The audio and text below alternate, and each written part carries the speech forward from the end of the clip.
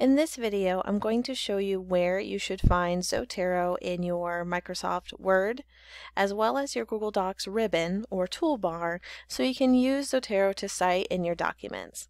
Once you have downloaded Zotero software onto your device, the new Zotero that is, it is automatically bundled to include your ribbon, a plugin within Microsoft Word and in Google. And where is that? So when I say ribbon, I'm talking about this toolbar up here. So when you download your Zotero software, you should have this Zotero feature or plugin in your Microsoft Word automatically once you reopen it.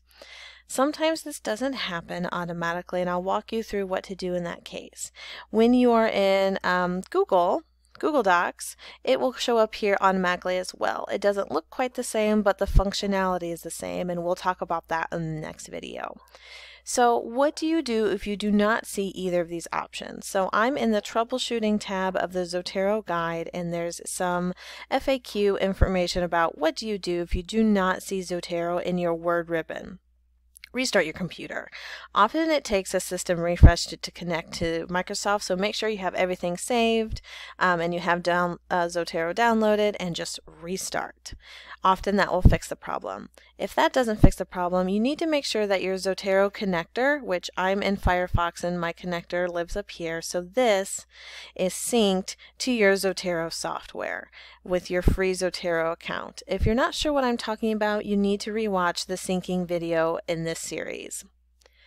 Third option, if that doesn't work, is to make sure your Microsoft Word is updated to the newest version. Um, and you have to use the downloaded version of Microsoft Word. The browser version will not work. So you, um, if you're an OU student or faculty member, you can download Microsoft Office for free from OIT's website. And then, of course, restart your computer after Zotero is downloaded and go through that step number two all over again. If that's not working, worst case scenario, um, then you need to explore Zotero's help forum. Um, that will give you step-by-step um, examples on how to manually download Microsoft Word for Mac, etc., to see if it can get it fixed for you.